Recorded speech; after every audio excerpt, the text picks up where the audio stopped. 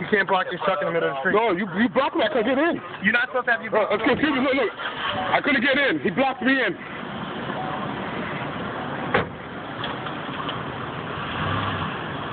Fucking prick.